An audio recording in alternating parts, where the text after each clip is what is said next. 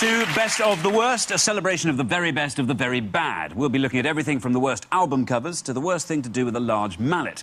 Not to mention this, the worst thing to see ahead of you in the queue for the loo.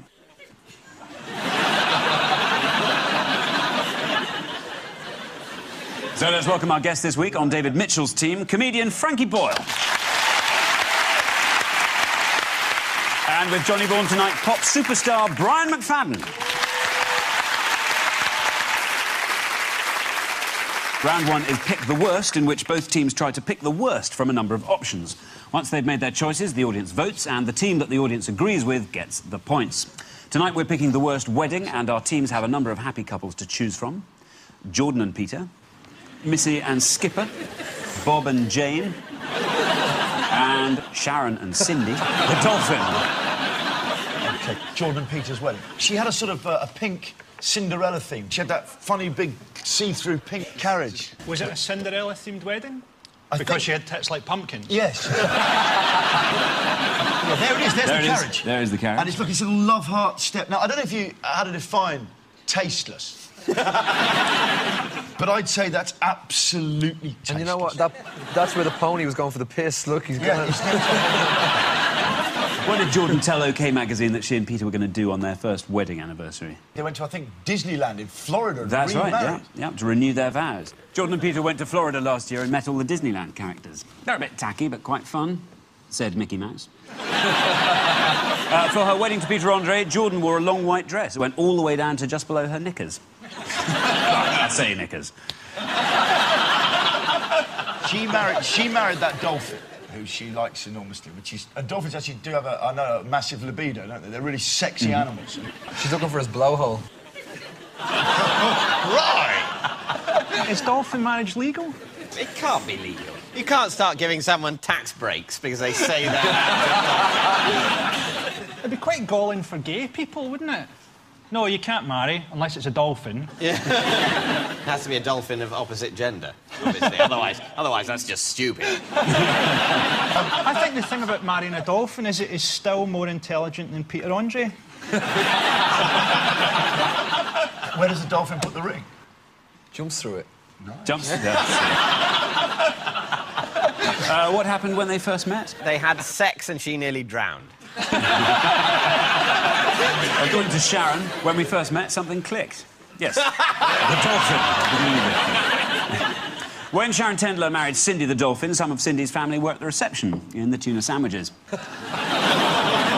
This is. Uh, these people married as Homer and Marge Simpson. Um, Mm-hmm. I, I don't really remember end the, of that. episode of The Simpsons where Homer had shit all over his face. Yes, it's got it in his hand as well, if we look. Looks like, I don't know, he might have gone through the paper there, or... He's gone through the paper, gone through the paper, wiped his mouth. don't, don't say that in an as you do kind of a way. yeah, we've all been there. Show me a man who hasn't wiped shit all over his mouth, I'll show you a liar. Uh, what were their wedding vows? I don't... Till death do us part. Oh, dear. That doesn't work at all because even in The Simpsons, Bart isn't a verb. You know. Here are the rest of the wedding party. Look, One of don't. the... At that blonde one. Yes, she's, she's come as Marilyn Monroe would look today. uh, on Missy and Skipper, what humiliation did Skipper suffer before his wedding? Oh, did he have his balls cut off? Yes, he was neutered. No doubt after enjoying the stag night too much. after a stag night, Skipper ended up handcuffed to a lamppost. A nightmare for most people, but heaven if you're a dog. and as usual, the best man got off with the stripper. That could be a symbol of world peace. couldn't it? Really could. See When what can happen. The cat and the dog may lie together Yeah. in penetrative sex. It's been a long day doing some calendar shoot. And they've done the kitten and the puppy with all the with the chocolates and the flowers and the lake and everything. And they thought, fuck it, let's have a few vodkas and stick the kitten and the dog together. See what happens. So every time you see one of those calendars or one of those cards, think of the bestial snaps that don't make the final cut. But it's like, it's like in the British porn is a bit Yeah. softer. We get the version where they're just cuddling. In the Scandinavian countries, Danish style. That's what they get. You see the kitten jizz. Yeah, you really do. You do. And it finishes with a I have massive, disgusted hundreds of people. a massive money shot, a pearl collar.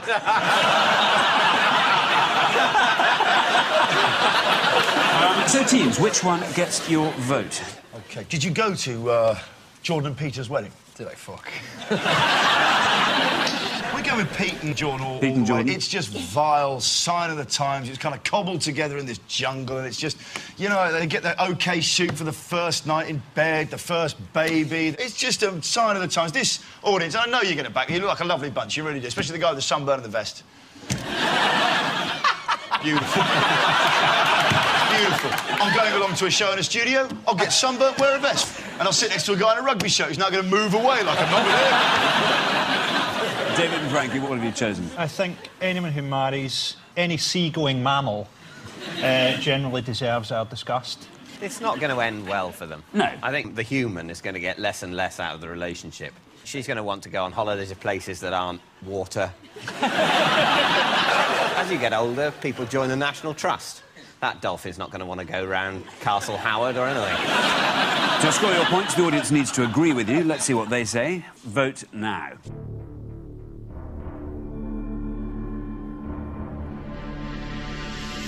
So I can tell you the worst wedding is Jordan and Peter Andre.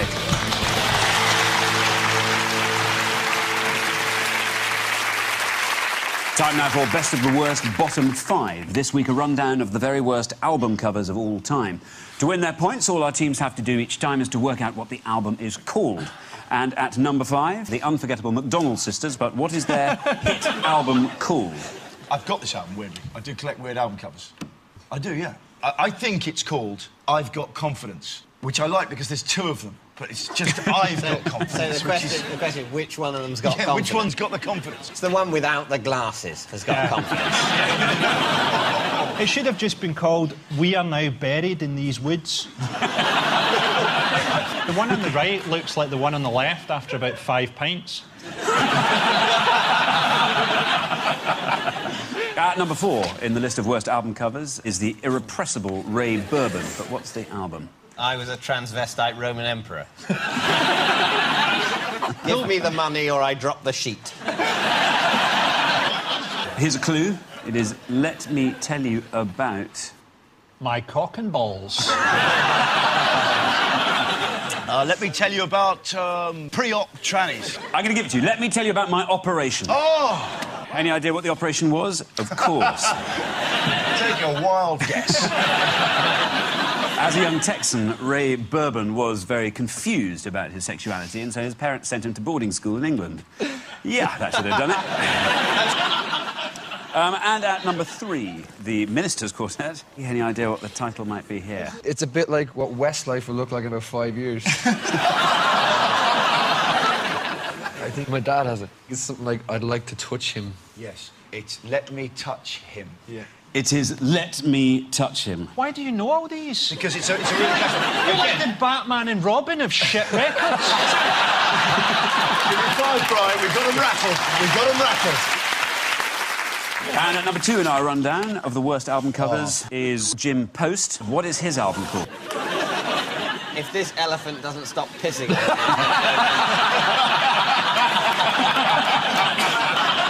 I'll give you a clue. I love. Cock.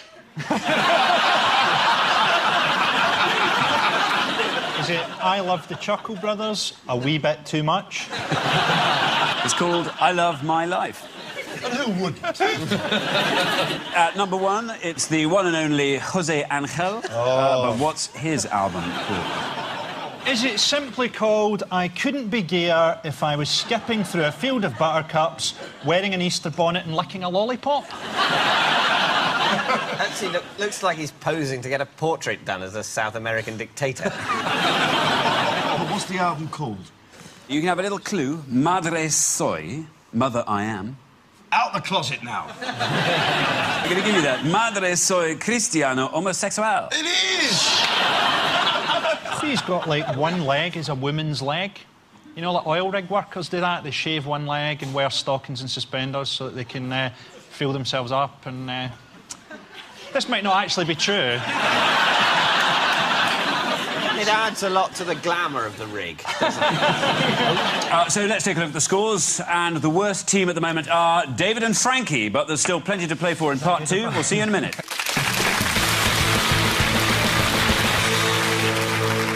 Welcome back to Best of the Worst, and it's time to ask which ends the worst. Two video clips, just one question which is going to end in the worst way? Here's the first clip, and it's from the USA. I mean, there are just so many variables here, aren't there? That the, um, the pitcher throws the ball so hard it smashes out all the batsman's teeth and lodges in his face, and because he's an American, he keeps talking?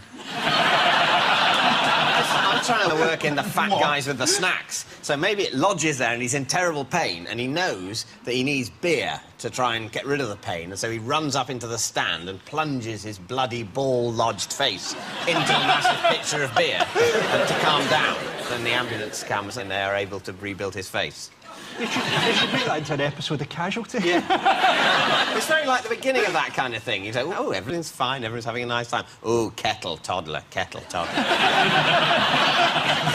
just love seeing obese people loaded up with snacks, really getting ready to sit down and enjoy themselves. I just want to see that guy. There's nothing nicer than seeing someone who's above like 25 stone with his snacks. And he knows where he's going, he knows what fun. He's got his snacks, he's got his beer, he's got a ball game, and he's going to enjoy himself. He's a fat bastard.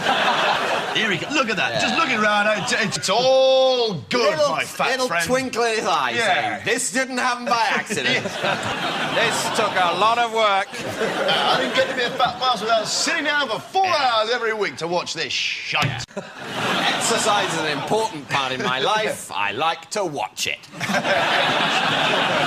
In this country, we have clothes for men twice the size of me. Alexander, And I one day aspire to fill them. He knows the stadium's been reinforced after last year's collapse. and what's more, there's so many fat people there, he doesn't even feel like he's fat. We're working on a new sort of human. Yeah. It's twice the size of the old sort, Yeah. and it dies at 40. In Or inside that huge lake of a man is a little heart going. the hardest working heart in the stadium.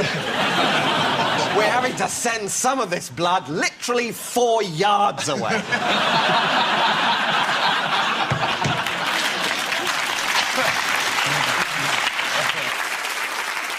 Uh, where was baseball, the so-called national game of America, first played? British invented all sports. We certainly invented rounders, so I reckon it was somewhere in Britain. It was invented in England. First played in England. We know this because it's mentioned in Jane Austen. Jane Austen, sorry. Oh, Lesser Jane Austen. Jane Don't you- Austen. It's awfully good. Lesser known than Jane Austen, but very good for a read. it My dear Fanny, the first day we... Sorry. the boys are playing baseball. It is wonderful. As we alighted from the carriage, they were hitting balls everywhere with large gloves. Oh, fie. My dear sister, I really must get shit-faced on beer and eat lots of hot dogs and grow grotesque.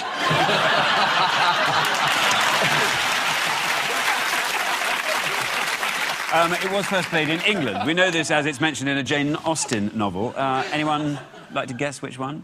Mansfield Park. Prime Prejudice. Uh, Northanger Abbey. It's only a glancing reference, if you recall, in which the young Catherine Morland thwarts the scheming Isabella Thorpe and wins the heart of the dashing Captain Tilney by stealing second base with two outs in the bottom of the ninth. Here's the second clip, which comes from Holland.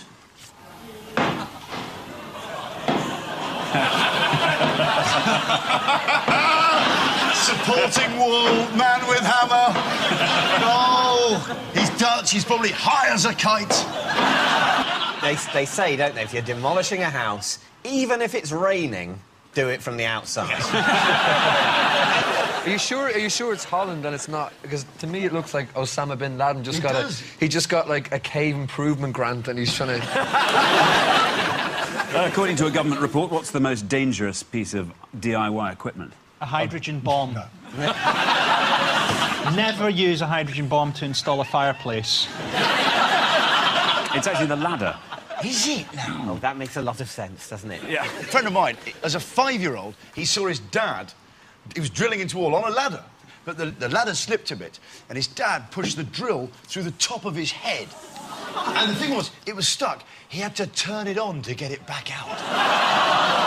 He said he watched his dad make that judgment call. He was like, "What are you going to do, Dad?" He said and he had to reverse it. Oh, God. Take it off masonry setting, which was going like that, to wood, because you want a smoother exit. And he actually goes.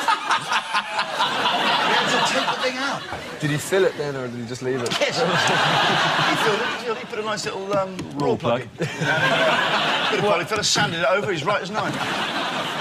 Right now it's decision time. It's which ends the worst. So which of these two clips is going to end the worst? It seems like the obvious answer, but you've got to think the man in the house with the sledgehammer that's trying to destroy the house. That's got to end badly. What's, what's the worst that can happen is this guy's going to get buried by rubble. That's it. But the point is, and that's kind of obvious. Yeah, the worst thing is this guy could die. That's But the this, worst. this part. is, I think, what, what I'm saying is this, it has, it, it's got Well, I kind mean, of a limitless in the other one, potential for yeah, in the other one, thousands of people could die. Could die, yes. We're going to go for the baseball. Baseball. You're going to go take for baseball. baseball. What are you going to go? with? Baseball as well. No, let's go for let's We'll- go for we'll this go for- You're going to go the man We'll go for indoors, the Dutchman. It's a tricky one, though, isn't it? Okay, let's take a look. Uh, starting with this one. Okay, okay. Do you see that? The Bird. The bird disappears just in a puff of feathers. Let's see it again. Where's the bird coming in there? Where is he there? Oh, there he is. Wow! That fat bloke will have that fried and eaten.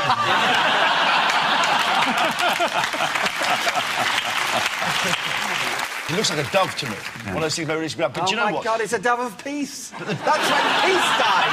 That's the worst thing ever, the death of peace. After the incident, the pitcher said the bird was in the wrong place at the wrong time. well, it's in a better place now. That's a very precise description of what happened. It was in very precisely really the wrong place at very precisely the wrong time. Yeah. That place, instantaneously earlier or later, will be fine. Yeah, it almost defines wrong place, At wrong, wrong time. time, doesn't yeah. If, if your kids ever ask you, what does he mean, wrong place, wrong time? You say, that. That. Love of peace. If you're wondering what must have been going through the bird's head at the time, it was the baseball. so, did something worse happen to our DIY expert? I like it already. He's looked up, he's looked up, he's thinking, hello. Beetje licht in de duisternis. Yes, of course, maybe have some more hash. yeah, come back and smoke another joint and joke for that one.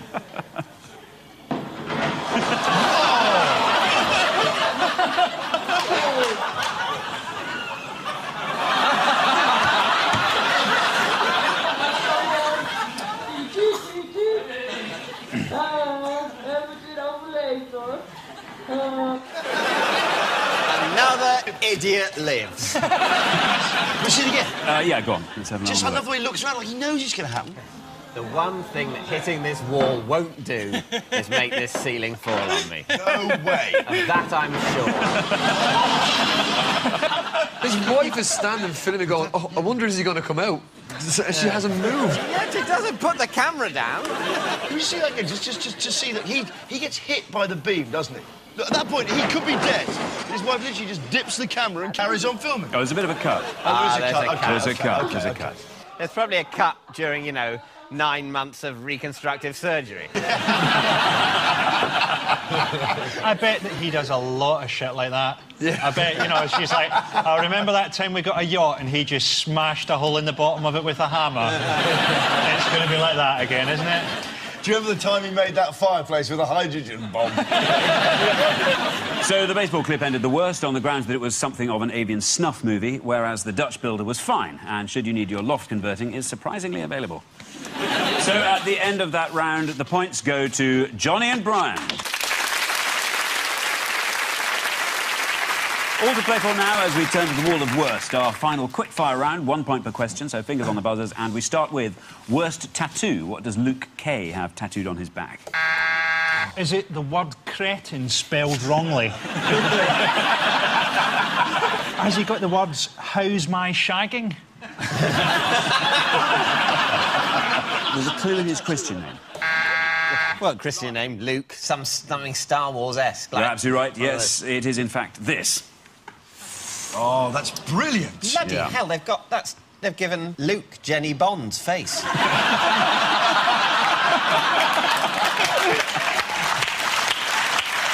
Uh, worst idea. What is this man attempting to do?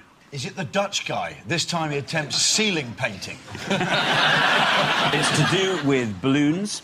Oh, this is the guy who, who, who, who did loads and loads and loads of balloons. Thousands of them, these little helium balloons. He was seeing how many it would take to take off. And he went for miles, didn't he? That's absolutely right. Yes, it's Larry Walters of California who wanted to float 30 feet above his garden but ended up clinging on for dear life at a height of 16,000 feet. and he drifted into a, an international flight park. Exactly, Didn't he? outside And there were lots of airline pilots radioing in saying, um, I, I don't think it's me, but I really honestly think there's this guy sitting on a sunbed at about 30,000 feet. And either I shouldn't be flying this plane or something should be done. As he came down, he got caught in a power line, blacking out an entire neighbourhood for 20 minutes, just as the local news was about to lead with a story about a redneck moron in a balloon chair. Worst protest. How did this pair spark a protest? Is it that they've adopted a child? So they've somehow ticked all the boxes for, for Reading Council social services. They've adopted a child, and it's only come to light because a, a couple in Reading have tried to adopt a child and they've been given a flamingo. Um, it is to do with a forced breeding programme in a German zoo. They're gay. They are! They're gay There's- penguins. I can see it in their eyes. They're gay. Bosses at a zoo in Germany drew protests from gay rights groups when they flew in four female penguins to encourage the gay couple to reproduce. Zoo authorities started questioning the penguin's sexuality when they noticed the penguin enclosure was always immaculate. Worst date. Why did Cambridge student George Green fail to turn up for his date with Gwen? It involves this letter. Is it one of these things that they do occasionally when, like, there's a letter from the 1920s or something and they don't deliver it? That's exactly And- right. Yes. It's a letter that was posted in 1950 and delivered in 2006. The Daily Telegraph tracked down George and found him to be a historian at the LSE. They also tracked down Gwen, finding a skeleton wearing a carnation at table three in Monty's. At the end of that round, let's take a look at the final scores. This week's winners are Johnny and Brian, but this week's worst team is David and Frankie.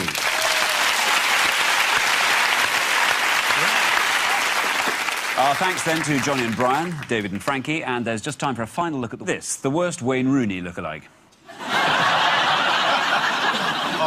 You've been watching Best of the Worst. Good night.